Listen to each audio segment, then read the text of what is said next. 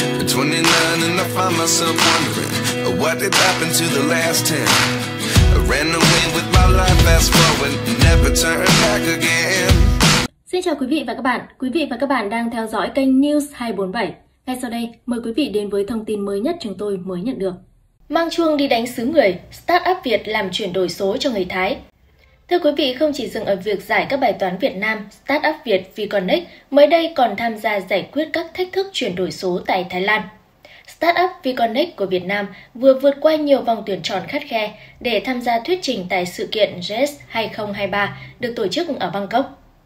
Đơn vị này đang ấp ủ tham vọng ứng dụng các sản phẩm, giải pháp IoT công nghệ Việt để giải các thách thức về chuyển đổi số tại Thái Lan – CES 2023 là chương trình kết nối các công ty công nghệ mới nổi trong khu vực với chính phủ các nước và tập đoàn đa quốc gia nhằm thúc đẩy các giải pháp mới trong tiến trình chuyển đổi số. Chương trình này do Bộ Kinh tế Thương mại và Công nghiệp Nhật Bản, Bộ Năng lượng Thái Lan, Ủy ban Đầu tư Thái Lan và các tổ chức hàng đầu khu vực ASEAN phối hợp tổ chức.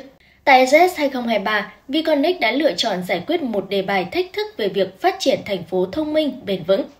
Theo đó, Vconnect sẽ hợp tác với Minbimis Yumi, tập đoàn đa quốc gia với doanh thu 9 tỷ đô la Mỹ của Nhật để mang tới hai giải pháp công nghệ về quản lý năng lượng, điện, ga, điện gió, điện mặt trời và quản lý môi trường, nước sạch, nước thải, chất lượng không khí cho các thành phố thông minh tại Thái Lan. Trong phần thuyết trình của mình, công ty Việt Nam đã tạo được ấn tượng tốt với kinh nghiệm triển khai thực tế các dự án tại Việt Nam như hệ thống kết nối 5 nhà máy xử lý nước thải tại Đà Nẵng hay phát triển thành công hệ thống quản lý tòa nhà và cư dân iScape.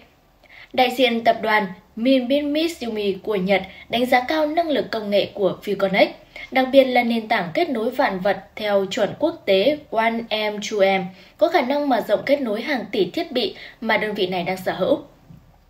Trước câu hỏi của Vietnamnet về việc tại sao lại lựa chọn chuyển đổi số ở thị trường nước ngoài, đại diện Vconnect cho hay, so với các lĩnh vực khác, lĩnh vực công nghệ gần như không có giới hạn về địa lý trong hoạt động kinh doanh. Điều quan trọng là năng lực làm chủ công nghệ và khả năng ứng dụng thực tế.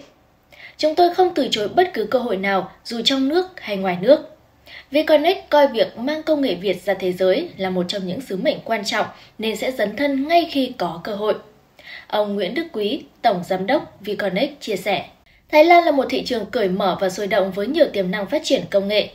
Qua quá trình nghiên cứu thị trường, chúng tôi nhận thấy nước này đang có các bài toán khó giải về năng lượng và quản lý môi trường, đặc biệt là do đất nước du lịch, bài toán môi trường luôn được Thái Lan đặt lên hàng đầu. Đây cũng là thế mạnh của chúng tôi khi đã có kinh nghiệm triển khai thực tế tại Việt Nam.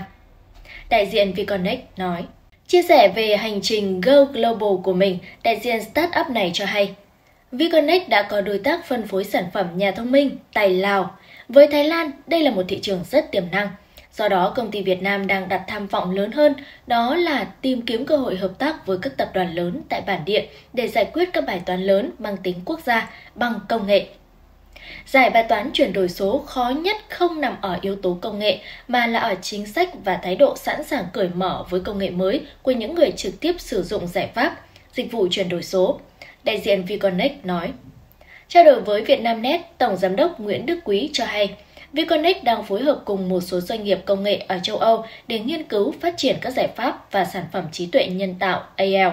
Trong thời gian tới, startup này sẽ tham gia hoạt động xúc tiến thương mại của các nước trong khu vực nhằm vươn tầm, ghi dấu ấn và tên tuổi, sản phẩm công nghệ của người Việt lên bản đồ thế giới. Quý vị và các bạn vừa theo dõi thông tin mới nhất mà chúng tôi mới cập nhật được. Cảm ơn sự quan tâm theo dõi của quý vị. Xin chào tạm biệt và hẹn gặp lại quý vị và các bạn trong những bản tin tiếp theo.